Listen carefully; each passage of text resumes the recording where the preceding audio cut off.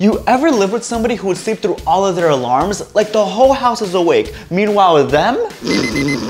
Jamie, wake up! A car ram into their room and they would still find a way to get an extra five minutes of sleep. I wouldn't even be surprised if one day these son of a- Wait, where'd you go?